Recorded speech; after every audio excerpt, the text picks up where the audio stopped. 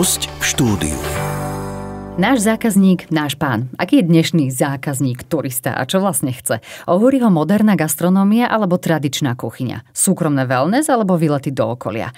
Máme pre vás Novotu, teda presnejšie Martina Novotu, nášho hostia, s ktorým sa dnes porozprávame o hotelierstve a turizme v Prahe, v Terchovej, ale aj na Seychelloch. V štúdiu podcastu Poradcu podnikateľa sedí riaditeľ hotelovej divízie Absolutum Group Martin Novota. Ahoj, vítajú nás. Ďakujem za privítanie, tak pozdravujem poslucháčov. Ja teda s dovolením si budeme týkať, keďže sa poznáme aj z poradcu podnikateľa a fungujeme v tomto, v tomto priestore aj e, v podstate ako takí kolegovia. A aby sme ťa trošku predstavili našim poslucháčom, tak povedz, aká bola tvoja cesta k tomu, čo robíš teraz? Teda ty si mi mm, prezradil už pred nahrávaním, že už v podstate od strednej školy sa to tak formovalo do toho, do toho turizmu, obchodu, že to bola obchodná akadémia, potom hotelová vysoká škola. Pôvodom si zo Zlatých Čech Moraviec, 20 rokov si žil v Prahe a aktuálne žiješ v Trenčine. Tak povedz, kedy si ty um, vnímal vo svojom živote, uh, že toto bude to tvoje smerovanie, uh, že sa budeš uh, živiť týmto? Tak, ďakujem. No tak e, je to, zobral si to od základov teda. E, s tým, že e, čo sa týka vlastne akoby toho smerovania k tomu hotelierstvu, to som mal vlastne dávno s tým, že mňa to tešilo, keď som videl hotely a služby a, a vlastne akoby tú radosť toho, že ak človeku, dajme tomu sa otvoria iba dvere alebo on sa nejak vlastne akoby obslúži, tak z toho som mal tu akoby, uh, taký ten smer a hľadal som školu uh, na Slovensku a tu som žiadnu nenašiel, tak vlastne po strednej škole som odišiel do Prahy, tá, kde je vysoká škola hotelová, tak uh, tu som vlastne akoby úspešne dokončil a potom som vlastne začal robiť v hoteloch v Prahe. Uh-huh. Uh, tam vlastne akoby uh, sme si prešli niekoľkými hotelami v Prahe, kde sme potom zakotvili v Absolutum uh, Wellness hotely kde uh, vlastne akoby po určitej dobe na uh, vlastne akoby obchodný riaditeľ som uh, následne postupil ako riaditeľ hotela. To vlastne akoby absolútne veľa hotela, ktorý som viedol úspešne od roku 2016 do roku 2022. No a potom, samozrejme, to už vlastne keby taký krátky prierez tej, tej histórie, sme sa vlastne rozhodli, vlastne ako aj s pánom Malikom, čo je vlastne majiteľ poradca podnikateľa, je, že ja by som sa rád vrátil na Slovensko, do Trenčína, a že by bolo dobré spraviť e, skupinu hotelov, tak aby sme vlastne si vytvorili vlastný interný trh, e, kde vlastne akoby môžeme osloviť až 100 tisíc ľudí za rok. Takže jak má vlastne pán Málik, alebo respektíve PP e, pod sebou absolútnu wellness hotel, na Slovensku je to wellness, wellness resort Janšikov dvor. A samozrejme máme tu aj reštaurácie, akoby Soho 1 a potom Soho 1 wellness a tak podobne. Tak vlastne akoby, keď tu dáme všetko dohromady, tak sme sa dohodli, že vytvoríme Absolutum Group a spojíme to vlastne akoby so Seychellami, kde máme vlastne akoby taktiež nejaké aktivity.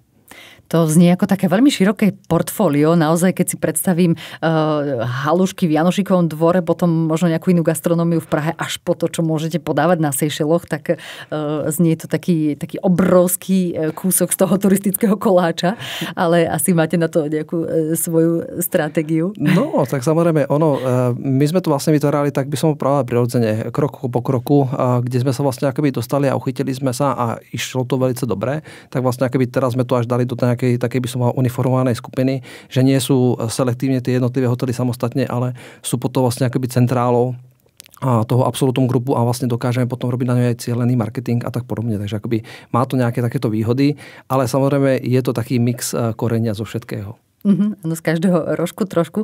Ja sa chcem ešte možno vrátiť k tomu. Spomínaš si, kedy si bol ty ako zákazník prvýkrát v nejakom hoteli alebo v ne- na nejakom takom pobyte, že už vtedy si si povedal alebo si tak sledoval, že no tak toto by som urobil inak, toto je fajn, toto sa mi až tak nepáči.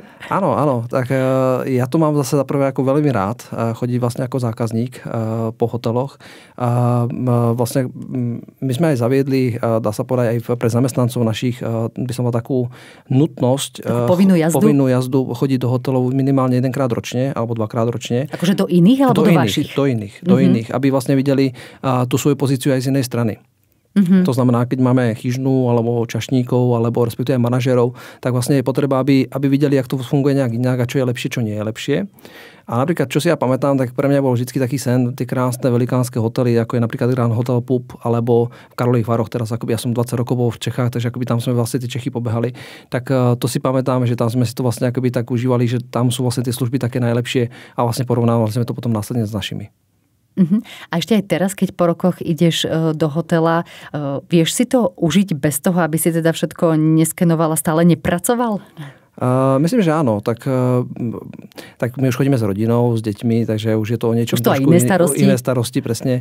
Uh, takže akoby, ale tešíme sa z toho. Vlastne um, hotel je zážitok. Akoby to je ten hlavná vlastne akoby pointa je hotelu uh, je, aby vlastne tí ľudia, aj ten celý ten personál toho hotelu vlastne pracoval ako jeden tým a vlastne akoby distribuoval ten zážitok tomu hostovi. Takže áno, viem si to samozrejme užiť a veľmi mám rád hotely. Čo ťa naopak teda na e, tvojej práci e, najviac baví, že nie on teda z pozície zákazníka, ale v tej svojej funkcii, prečo, prečo stále máš možno motiváciu ísť ďalej a stále byť v tomto biznise, ktorý niekedy je naozaj veľmi neistý?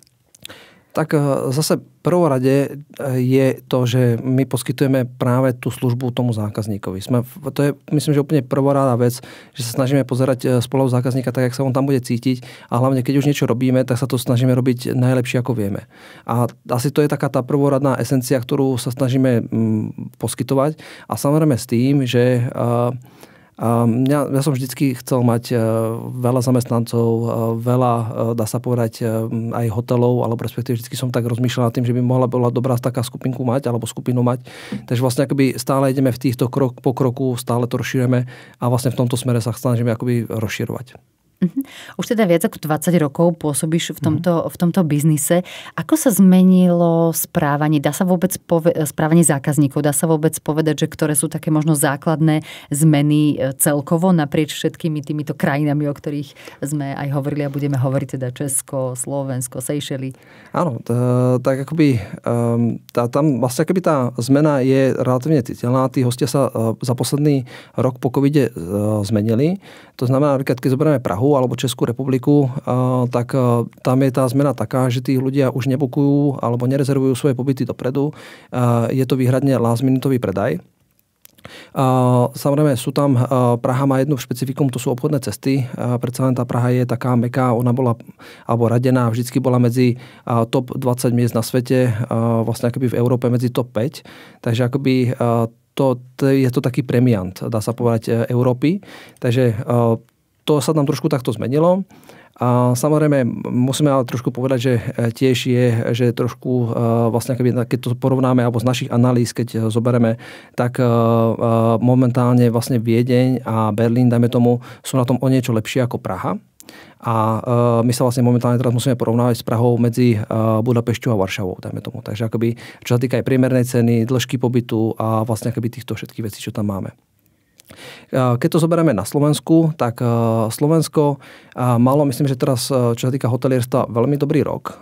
Z toho dôvodu, že tí ľudia, naši aj Češi, aj Slováci, alebo respektíve v okolitých našich krajinách susedov, zostávali prevažne doma. Takže vlastne využívali sa tuzemské hotely. V Zázrivej, čo máme wellness resort Janšikov dvor, tak mal vlastne akoby veľmi, veľmi dobré výsledky s veľmi dobrou obsadenosťou. Pričom nám samozrejme pomohlo aj nové wellness centrum, ktoré sme e, dobudovali práve, dá sa minulú sezónu alebo minulú zimu. Takže uh, tam sa tá, tá klientela, by som povedal, nezmenila. Cez leto tam máme turistických klientov, to znamená rodiny s deťmi, turistov, ktorí chodia po malej fatre.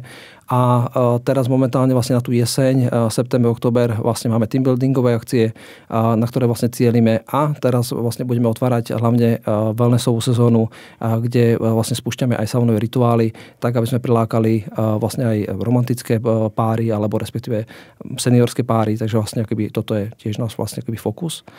A ešte keď to poviem tu, tu tie Seychely, tak mm-hmm. samozrejme tie Seychely zase zažili trošku úplne opačný efekt. E, jak vlastne akoby Európa išla veľmi dobre, tak uh, samozrejme tá geopolitická situácia uh, je taká, aká je.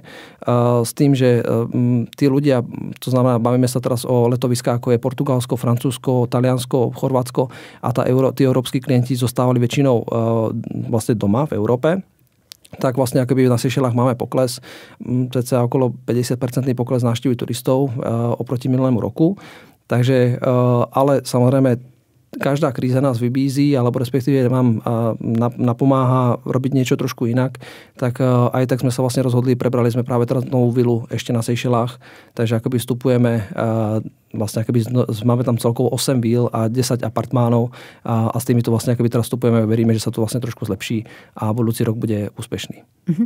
Dá sa všeobecne povedať, že čo vlastne teraz ten zákazník chce, keďže e, celkovo e, je v podstate stále kríza, e, tých peňazí je všade menej, tak, tak čo ohúrime teraz svojho zákazníka tým, že dáme zľavy, že dáme 50% na nejaké vouchere alebo niečo, alebo čo vlastne ľudia hľadajú, čo je to rozhodujúce pri tom vybrať si ten alebo ten ktorý hotel? No, tam je jednoznačná kvalita tak e, momentálne e, tí naši hostia e, vyžadujú vyššiu kvalitu, ako bolo vlastne pred covidom.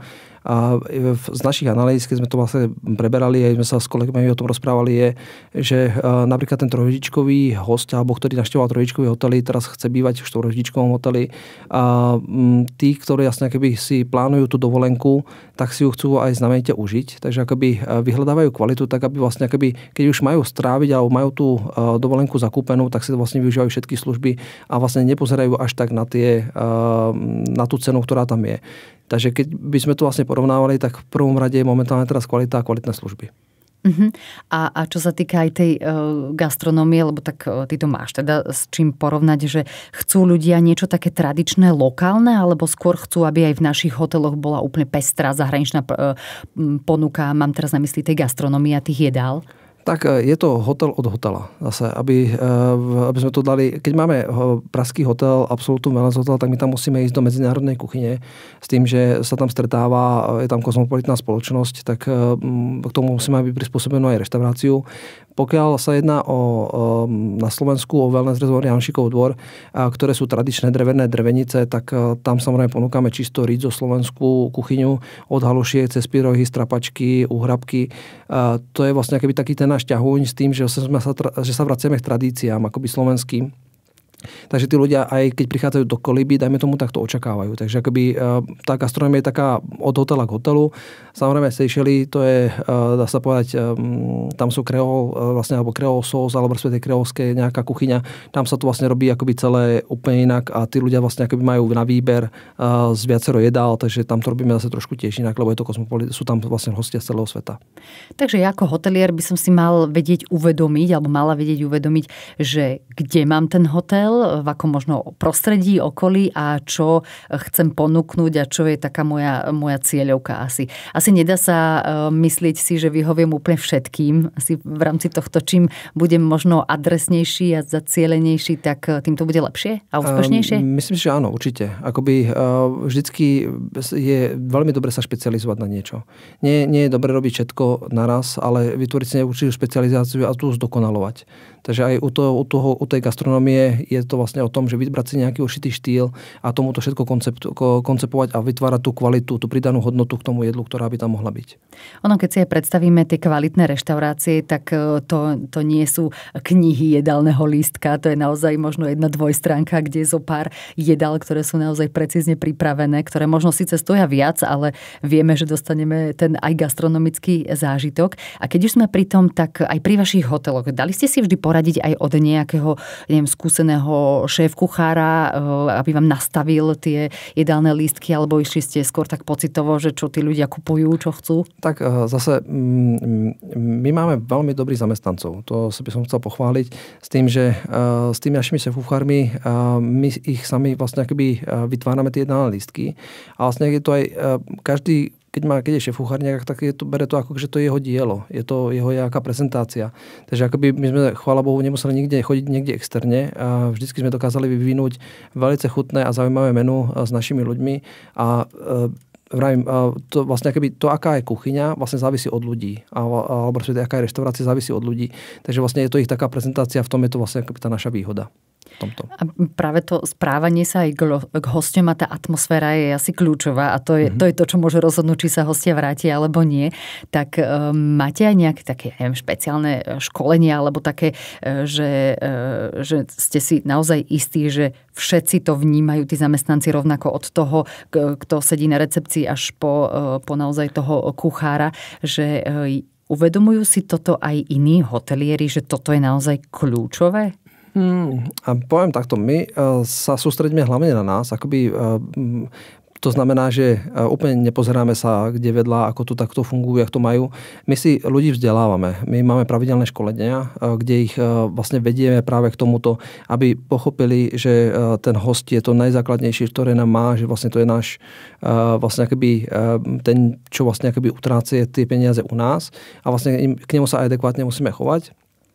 Samozrejme máme radu školení presne od netrpeť vnútornou slepotou, dajme tomu, aby sme vlastne videli, jak sa na to pozerá s očami hostia. Napríklad to sú jedno napríklad z tých školení, ktoré robíme pre našich zamestnancov, ale samozrejme zároveň v, našich, alebo v našej celej skupine máme aj vnútorné hodnoty, alebo respektíve firemné hodnoty, ktoré sa snažíme dodržiavať, alebo respektíve ctiť a ktoré sa snažíme štepovať aj tým našim novým zákazníkom, pardon, novým, novým eh, zamestnancom, eh, ktorí tam sú od, vlastne od tej recepčnej až po toho vlastne kuchára, dajme tomu.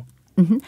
Ja som už aj v úvode dal takú otázku, že či ľudia skôr vyhľadávajú všetko e, také zážitkové, ktoré môžu dostať už v rámci hotela, teraz máme mysli priestorov hotela, hotela, čiže súkromné wellness, alebo či e, vnímaš aj to, že ľudia skôr chcú vedieť aj čo je v okolí, že nejaké výlety do okolia, alebo naozaj to prostredie, že, že či, alebo neviem teda, či sa to dá nejako z tých výskumov povedať, že čisto ľudia, ktorí ako prídu do hotela, tak nechcú vytiahnuť pety a chcú, aby všetky zážitky mali pod jednou strechou, alebo či sú takí tí um, skúmači okolia, ktorí nemajú problém niekde ísť možno aj autom, pešo, na bicykli. Ako, áno, presne, akoby, uh, ako tí, tí ľudia sú rôzne. Tisíc e, ľudí, tisíc chutí, ak sa hovorí. Uh, ale napríklad my sme sa snažili e, čo najviac teraz momentálne tie uh, možnosti toho hotela prispôsobiť alebo respektíve ponúknuť uh, tomu hostovi priamo v izbe. Uh, vytvorili sme cez QR kód takého, sa povedať, aj sprievodcu do telefónu, kde sme napríklad, to hovorím teraz o absolútnom wellness hoteli v Prahe, kde sa v telefóne zobrazí všetko, čo je na okolí, kde sú aké reštaurácie, čo je, aké sú, kde sú monumenty, čo môže ísť pozrieť, kde sú obchody, kde sú lekárne. Takže akoby e, snažíme sa mu do jedného vrecka alebo do jedného telefónu dať všetky informácie o tom hoteli a plus samozrejme tam robíme reklamu na naše služby, to znamená na reštauráciu, do wellnessu, že máme masáže, máme tam privátny mirivý kúpel a vlastne akoby ďalšie tieto sprievodné služby. A v Janšikovom dvore máme vlastne akoby správnu recepciu, kde um, devčatá, samozrejme, to je turistický hotel, takže akoby tam máme rôzne túry, my sme sami na turistickej trase, uh, ako Velez Resort Janošikov dvor, takže akoby tam je možné výjsť na Medziholie, na Malý Rosutec, na Veľký Rosutec, vlastne akoby prejsť sa potom uh, do Terchovej, uh, takže tam to rozprávame vlastne akoby osobne cez recepčné. Takže áno, samozrejme, snažíme sa tých ľudí vždycky v tej lokalite, by som povedal, nejak uviesť, tak aby vlastne vedeli, kde sa nachádzajú a čo môžu si medzi, v okolí pozrieť. Všeobecne uh, ceny rastú, ceny energií, um, mzdy stúpajú, suroviny sú drahšie, čo sa jednak odzrkadlilo aj na cenách ubytovania hotelov. Ono, čo to vlastne znamená tá vnútorná inflácia hotela? Sme sa o tom rozprávali pred nahrávaním, pre mňa to bol nový pojem a netušila som, že vlastne je to, nie je to úplne také isté percento, ako je všeobecná inflácia v krajine, tak mohol by si nám to trošku približiť? Uh, tak vlastne akoby uh, momentálne táto doba je, sme, nachádzame sa na nejakej určitej kríze s tým, že uh, inflácia nám výrazne poskočila a tá nám zvýšila cenu energií, cenu, uh, dá sa povedať, uh, surovín, vstupných vlastne vecí do hotelu a samozrejme potom nám nepriamo vlastne ovplyvnila aj vlastne výšku miest. To znamená, že vlastne nám tam vstupujú všetky tri zločky, uh, takže keď to zoberieme, vlastne tá vnútorná inflácia sa u nás pohybuje okolo 25 až 30 vo všetkých týchto sektoroch. To znamená energie, vstupy surovín a vlastne akoby zvýšenie miest. Čiže uh, hotely teraz budú musieť byť trošku, um, nie ani opatrnejší, ale um, keď to porovnáme z pohľadu od roku 2019 až, až po covidovom roku, čo máme teraz 2022-2023 a, a hlavne 2023, je, že vlastne akoby tá marža tých hotelov výrazne klesla. Takže akoby teraz tie hotely sa budú musieť snažiť práve tou kvalitou a vlastne akoby tým, dá sa povedať, veľmi vyspelým marketingom vydržať a vlastne akoby pritiahnuť si tých hostí, tak aby vlastne akoby mohli normálne ďalej fungovať. Takže to je tak vlastne tá, tá zmena. Čiže e, cesta možno ako prežiť toto, toto e, vnútorné, náročné inflačné obdobie hotela je, že aby, aby hneď ešte nedvihli tie ceny, ale dvihli tú kvalitu a potom, keď už budú mať tých svojich takých stálych zákazníkov, že potom, keď dvihnú kvalitu, vlastne tak tí ľudia budú ochotní si zaplatiť, lebo budú vedieť, že dostanú to, čo potrebujú? Správne, áno. Vlastne základom je toho vytvárať si vlastnú klientelu pre ten znaný hotel. Nám sa to veľmi dobre osvedčilo vtedy, keď sme mali aj v covide a sme zatvárali hotely, otvárali hotely, zatvárali, otvárali. A my sme boli schopní v priebehu e, dvoch mesiacov sa dostať vlastne na 70-80% obsadenosti, ale to iba vďaka tomu, že sme mali dostatočne vychovaných lojálnych hostí, ktorí k nám prišli. No ale ako si takých e, hostí vychovať? No naozaj tam treba si budovať taký vzťah, že to už nie je o tom, že dobre, objednáš si, odchádzaš, ideš preč, možno sa uvidíme, možno sa neuvidíme. No. Že prezradíš niečo zo, zo stratégie, čo, Áno, by, čo, ako, čo pomáha? Uh, ako, my sme vlastne akoby dobrí v tom, preto vlastne tých hotelov a tých víl a všetkého máme relatívne celkom dosť, je tým, že sme veľmi dobrí v marketingu. A ten marketing robíme takým spôsobom, že sa snažíme čo najviac priblížiť tomu hostovi, tak aby vlastne on spoznal náš hotel a vytvoril sa vzťah medzi hosťom a hotelom. Aby tam nevstupovali rôzni prostredníci, kde vlastne akoby sa to potom stráca ten kontakt. Takže e, osobne si myslím, že práve týmto a vlastne aj celkovým správaním personálu k tým hosťom vlastne nám utvrdzuje to, že sme na správnej stope, alebo ideme správnym smerom a veľmi dobre sme to takto videli práve v tom covide, že keď sme hneď otvorili hotel, tak priebehu dvoch, troch mesiacov sme sa dostali na veľmi dobré usadenosti a boli sme vlastne, ako dá sa povedať, v rámci lokality, to tam na Praha sedmička, mali sme dvoj až trojnásobne väčšie obsadenosti než ostatné okolité hotely. Ten, kto pozná e, poradcu podnikateľa aj túto veľkú budovu PP centra, tak si určite všimol, že prechádza celkom veľkou rekonštrukciou toto okolie aj e, prízemie. E, povedz, čo, čo sa chystá a možno kam by sme chceli pozvať aj ľudí, ktorí možno v tomto okolí v Žiline v tejto priemyselnej časti pracujú? Tak eh, áno, eh, teraz máme momentálne eh, rozpracovanú alebo respektíve rekonštruovanú reštauráciu Soho, jedna kafé, ktorá je priamo v priestoroch túto PP, PP centra. Pripravujeme ju vlastne úplne do nového takého faceliftu s novým dizajnom a bude to také voľnejšie. Pripravili sme tam takú celú, vlastne aj takú kancelárskú časť, vlastne aj pre kolegov z PP centra, tak aby vlastne tam mohli mať jednania, mohli tam mať vlastne pracovné raňajky, pracovné obedy. A teraz v septembri to práve dokončujeme, takže všetkých by som teda rád pozval, nech sa prídu na nás pozrieť do Soho 1 Café na Martina Razusa a pevne verím, že, alebo respektíve určite dosiahneme veľmi dobrých výsledkov, lebo taká, alebo tá reštaurácia bude veľmi pekná. Tak dúfame, že bude nielen pekná, ale aj chutná, teda aby to ľuďom, zákazníkom chutilo, tak prajme, nech sa, nech sa kuchárom, šéf kuchárom dobre, dobre pracuje s dobrými surovinami a tým pádom teda nech to má klientelu, ktorú chce. Takže ďakujem. A samozrejme hlavne našim eh, cieľom je, aby bola tá reštaurácia rýchlo obslužiteľná. To znamená, my sme eh, prešli aj s novým konceptom, takže budem rád, keď nás prídete, prídete pozrieť. Čiže taký ten koncept reštaurácie, že cez obed eh, najesť sa rýchlo a kvalitne v rámci nejakej možno tak, obednej prestávky. Tak, presne tak. Akoby to je vlastne celý náš... No, na, vieme, kto sú naši klienti, takže akoby podľa toho prispôsobíme celú prevádzku, tak aby to vlastne bolo rýchle, chutné a, a vlastne akoby, a hlavne ako aj príjemné, to znamená s úsmevom.